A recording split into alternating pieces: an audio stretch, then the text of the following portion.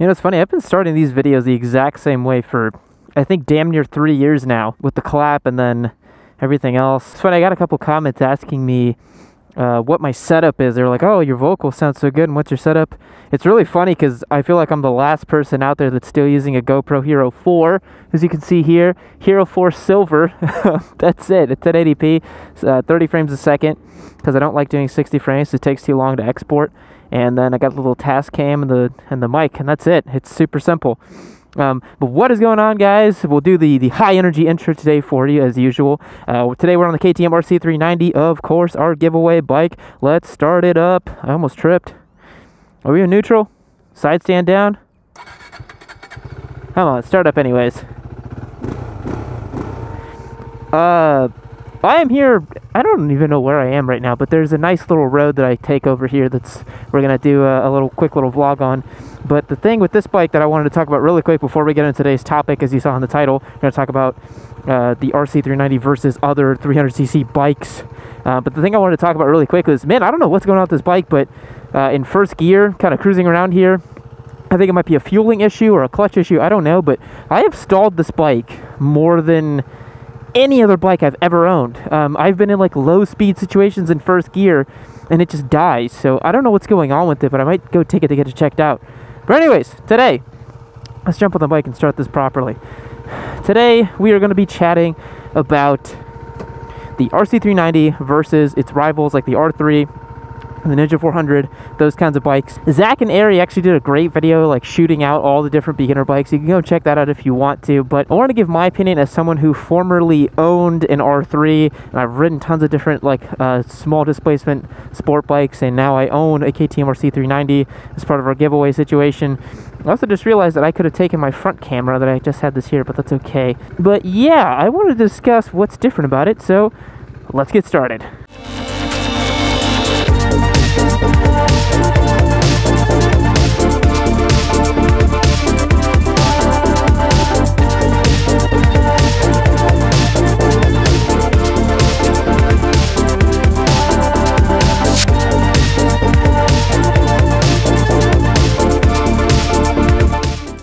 So yeah, the thing I was talking about first gear was like if you just like if you rev the bike and like you have your like your finger just ever so out on the clutch, you could quickly just stall it. I've stalled this bike at least 15 times, which is uh, perhaps a testament to my riding abilities. I'm not really sure, but I've never stalled a bike as much as this, so I kind of think it's the bike.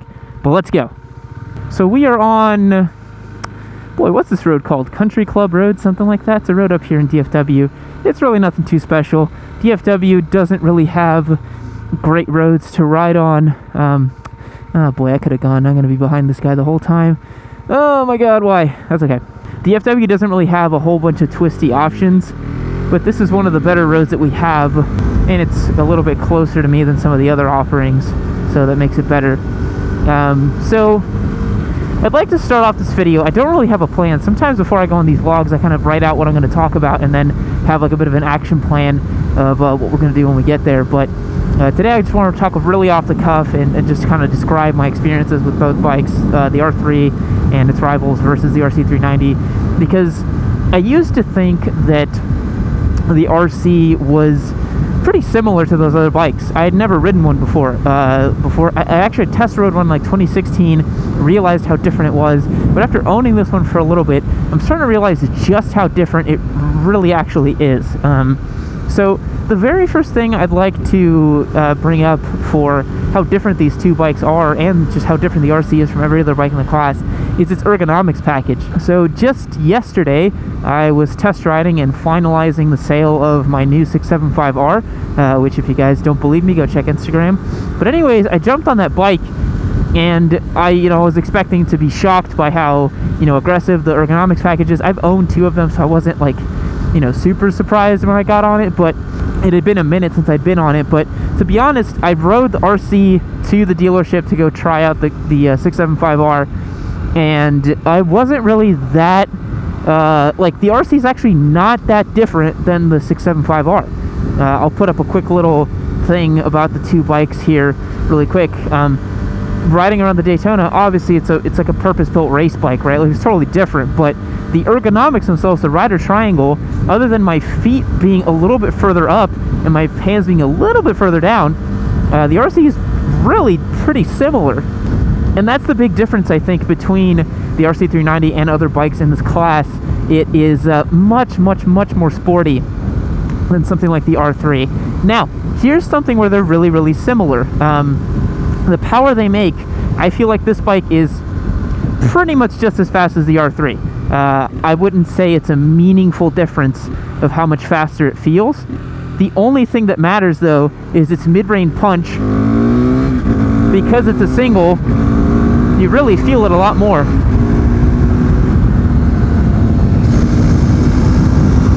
You really feel how uh, it's a lot more torquey in the mid-range, but you know, comparing power to power, like peak horsepower and that kind of stuff, um, this bike feels super similar. So I would say if you're comparing the two bikes, you're not going to jump on the RC and be like, wow, it's so much faster. Because it's really not. You know, it's a pretty similar little uh, power package to the R3.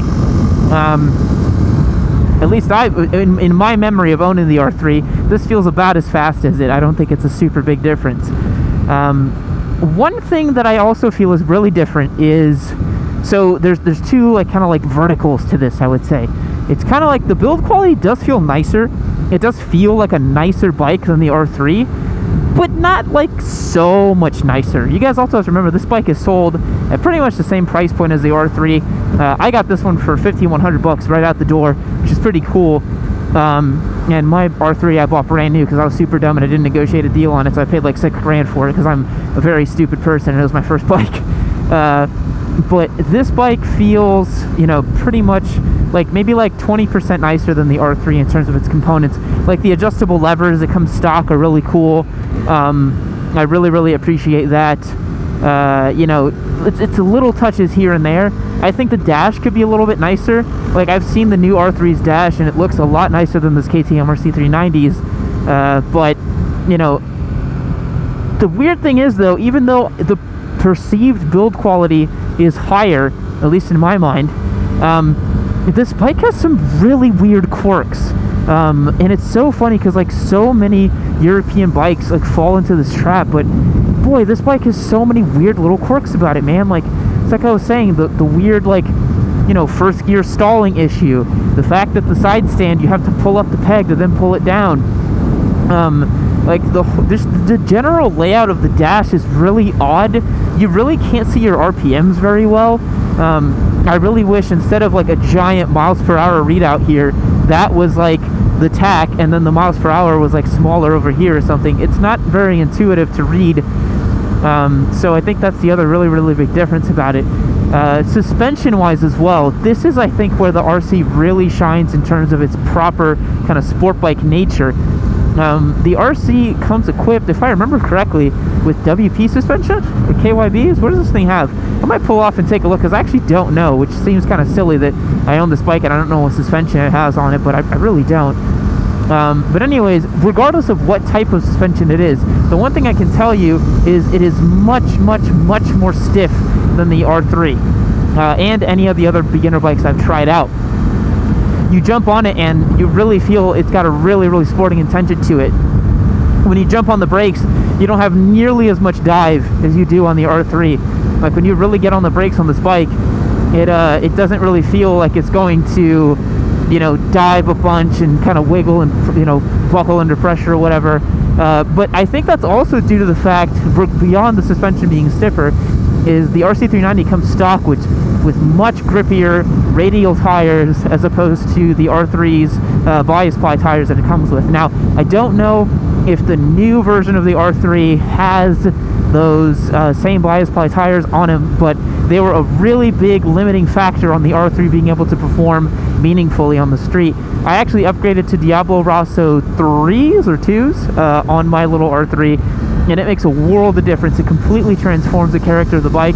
You really feel like you have the grip to do whatever you need to, and you can have a ton of fun with it.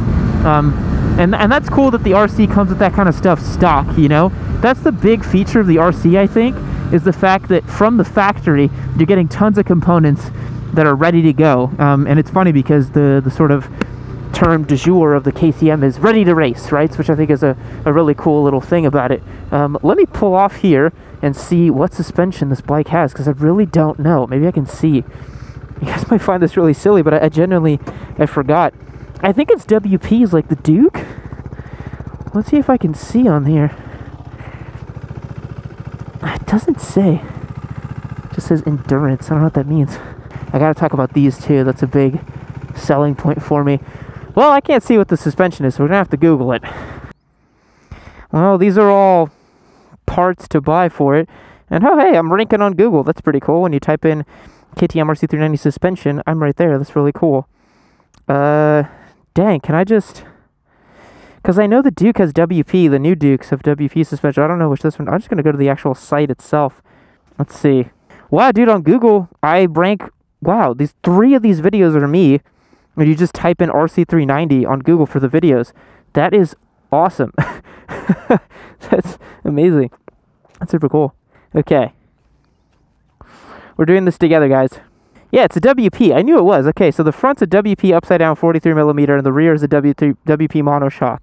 Um, I, I figured. I didn't want to speak out of turn and, and not tell you guys what it actually was, but I figured it was a WP. So that makes a really big difference. This bike feels a lot more sporty than the R3 because of its stiffer suspension. Um, what does suck though is unlike many super sports and super bikes, this isn't adjustable. So you don't have any rebound or compression or preload or anything in the front. But you do have preload in the rear. So you can take a tool, twist that around, set your sag correctly, and, and have a fun time. Um, but yeah, these this is the big difference on this bike, man. These tires here that it comes with, these Metzlers, these are great. These feel really good and really appropriate for this bike on the street. Whereas the R3, uh, man, I don't know. Those bias plies it comes with are not very good. Hopefully they don't sell with those anymore. Actually, have a proper radial tire on there. Um, a big thing I see a lot of guys ask about Okie dokie, a little RC. Uh, a, a, really big thing I see guys ask about, can I make this U-turn here? I probably can. I'm gonna I'm gonna waddle my way over here because I'm lazy. Whee! a big thing I see guys ask about is the front brake on this bike. Um, and that that is a really big difference as well. Uh, I don't know if it's because it's a ByBre system versus uh, just like a regular. I don't know what brake caliper comes on the R3. It might just be a Nissin, like rebranded little Yamaha caliper or no name or something like that. But uh, this bike has tons of brake feel, man, and it can really brake a lot harder than you imagine. Um, at least for me, anyways. I was pleasantly surprised by this bike's braking potential. I haven't even taken it out to the track and really explored it or tried it out, but even on the street, I'm really pleasantly surprised with how it brakes. I think the way you can think about the RC390 and bikes in this class is that they are uh, they're a lot like Miatas. If you guys are into cars, if you're checking out this channel, uh, maybe before you've bought a bike, because I know a lot of you are. Um, R3s and the KTM RC390, it's a lot like a Miata. I mean, you can feel it in the way the engine is tuned and the kind of lightweight and the flickability of the chassis. Um, it really, the characteristic of the engines also feel like a sort of souped up little four cylinder, it, they don't feel like insane, you know what I mean? Like, they don't feel like they're going to bite your head off like a race bike would or like a super sport or something like that. They feel so much more approachable, and which is why I mentioned in my video, should you ride a small displacement bike, I think this class and this type of bike has so much to offer to any kind of motorcyclist. Like for me, for example, I've been riding for about four and a half years or so um, if I did that math correctly. And I'm, I'm not like a I'm not a super experienced rider by any means. Uh, I've done all of five track days, and uh, you know have experienced quite a few different motorcycles. But I'm not a professional or anything. You know, I'm just like a guy who likes sport bikes, who is avid about the craft of riding and wants to get better. Um, and I've owned an FZ09 and Daytona and all kinds of pretty high-powered sport bikes, but man, this thing is just a blast. You, you just feel like the margin for error is massive on this bike. You feel like you can crack it wide open at the wrong time and it's not really going to go that bad for you, right? Versus something like an FZ09 with all that torque. If you if you wick the throttle on FZ09 at the wrong time like I just did there, if I just you just bump it like that, it's not going to be fun. So I think there's so much to be had from this category of motorcycles. I think everyone should own a small bike just to really appreciate what their big bikes can do because I think that's something that happens to people over time. They feel like they have to keep progressing through the ranks. So they'll have a small bike for a year, a mid-sized bike for a year, and then they, they're on an Aprilia 1100 210, uh, you know, for, for after three years of riding, and they're like, oh, it's okay, it's not quick enough. Guys, that's a fast motorcycle. That's a crazy fast motorcycle. Um, I think having a smaller bike will give you so much more appreciation for just how fast uh, your sort of normal run-of-the-mill everyday bikes are. I mean, riding the RC even makes the FZ07 feel like a rocket ship, but the Daytona I test rode yesterday, holy crap, you know, like after you get on one of those, after riding one of these, you just feel like it's a spaceship. It feels awesome, you know? And that's not to say that it's it's not because I'm an inexperienced rider or anything like that, but it's all about context, you know? you can really appreciate how much better these bigger bikes are when you own a smaller, lighter, more simple bike like this. Like for example, like on the Daytona in the mid-range between 6 and 7,000, you just wick it it doesn't feel anything like this. It just feels like it's gonna take flight, and that's such a cool feeling, you know? And you might forget that feeling if you don't ride a smaller bike like this every once in a while. So I don't know, man. I think there's there's plenty of cases to be made for owning a small bike like this, and I think the fact that they've been branded as beginner bikes is really silly. I would love to start a campaign where we rebrand these as just they're small, fun bikes. That's it. That they're not, you know, like beginner only bikes. They just happen to be motorcycles with smaller engines, which gives them totally different characteristics and feel. You know. Like you can go in here, just dip it in,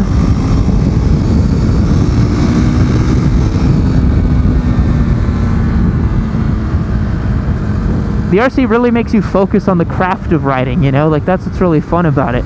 So anyways, guys, that's kind of going to sum up my thoughts on the R3 and Ninja 300 versus the KTM RC390. Uh, if you liked the video, be sure to subscribe, smash that like button, drop me a comment to let me know if you've had experiences with both platforms. Um, I think I was able to cover most of everything that I needed to both in terms of the really big differences between these bikes. But let me know if I missed anything in the comment section. And as always, I will catch you guys in the next one. See you later.